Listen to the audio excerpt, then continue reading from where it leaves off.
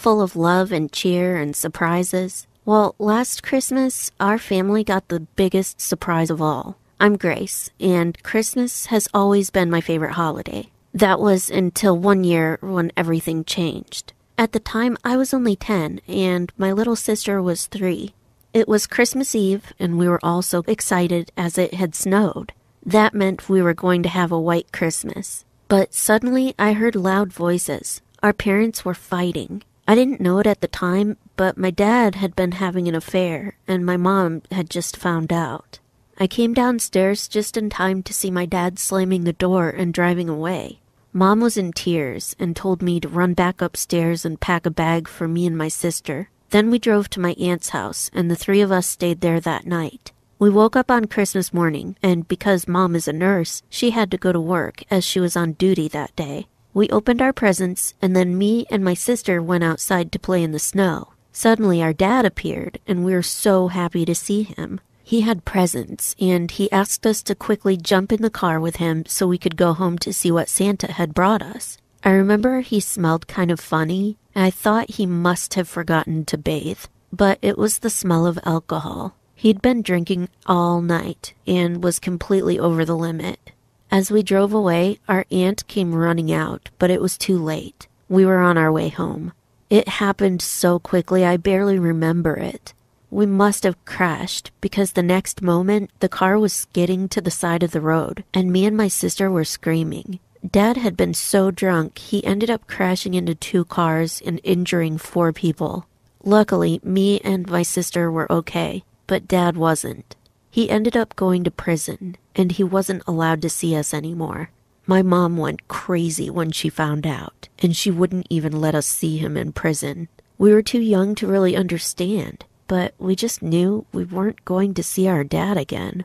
A couple of years ago, I asked mom about him, and she said he'd gotten out of prison and moved across the country, and that she didn't want to talk about it. So I never mentioned him again. And then my mom met a new guy named Neil, and I guess I like him, but I miss my dad a lot. Then Christmas came around, and it brought back all those memories. Mom always acted a little emotional on the day, and last year was no different. It hadn't snowed since that Christmas, but when we woke up on Christmas morning, my little sister came bouncing into my room to tell me it had snowed.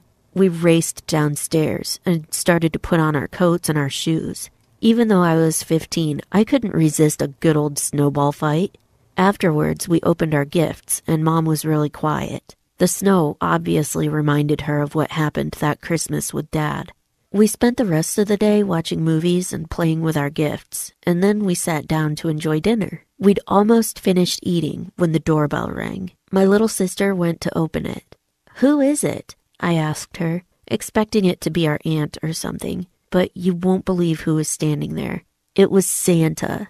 Okay, so I know he's not real, but my little sister freaked out. Mom, Santa's here, she screamed. Mom came running towards the door with her boyfriend running behind her. We were all so confused. He had a bag of gifts and just stood there not saying anything. My sister was so excited, and she led him through to the lounge and offered him a glass of milk and some cookies. I just looked at Mom and shrugged my shoulders. He sat down and opened his bag. Then he handed me and my sister a gift. Mom kept saying there's no need for gifts, and I could hear Neil whispering to her, Who is this guy? But my little sister had already unwrapped it and was squealing with joy. He'd got her the exact video game console she wanted.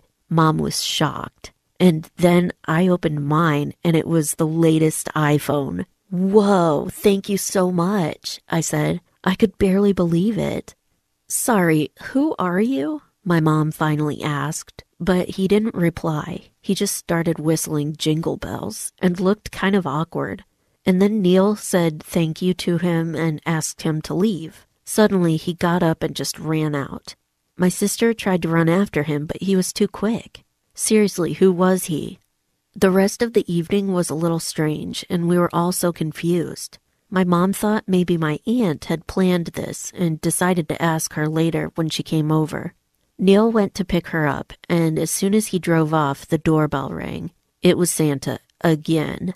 He said, Sorry, I forgot I had one last gift in my bag. and then he handed it to my mom. As soon as we heard his voice, we realized who it was.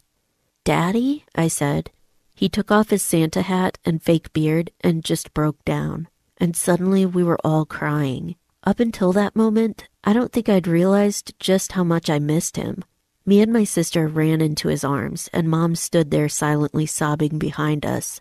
She opened the gift, and then she started crying even more. It was a photo album of all of our memories together, up until that Christmas when everything went wrong. My girls, I'm so sorry. Please, please forgive me. I can't live another day without you all in my life. That Christmas ended up being the best Christmas of our lives. Our dad was back.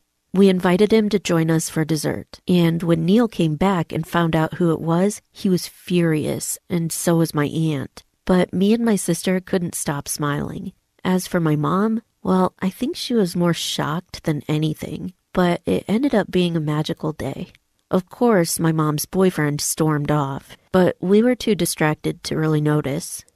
Now we don't know what to do. Dad keeps contacting us and turning up at the door. I really want him back in our life, and it seems like mom's falling back in love with him.